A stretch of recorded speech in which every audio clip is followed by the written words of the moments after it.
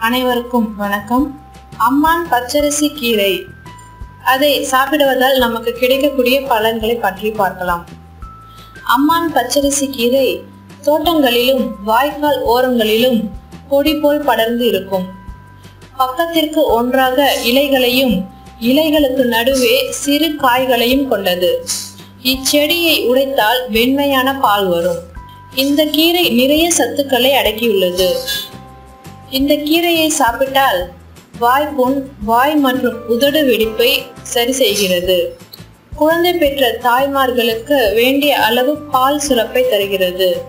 மூல நோய்க்கு சிறந்த மருந்தாக இருக்கிறது. மேலும் இது போன்ற தகவல்களை பெற இந்த சேனலை சப்ஸ்கிரைப் செய்யுங்கள். நன்றி.